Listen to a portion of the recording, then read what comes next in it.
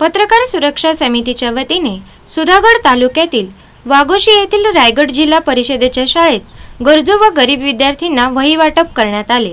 या वही वाटपाच्या कार्यक्रमात पत्रकार सुरक्षा समितीचे प्रदेश उपाध्यक्ष मंगेश भाऊ वाघमारे रायगड जिल्हाध्यक्ष गौसख खान पठाण सुधागड तालुका अध्यक्ष मंगेश यादव सुधागड तालुका उपाध्यक्ष राम तुपे यांच्यासह वाघोशी गावातील पोलीस पाटील प्रधान देशमुख अमित गायकवाड यांच्यासह शाळेचे शिक्षक व ग्रामस्थ मोठ्या संख्येने उपस्थित होते.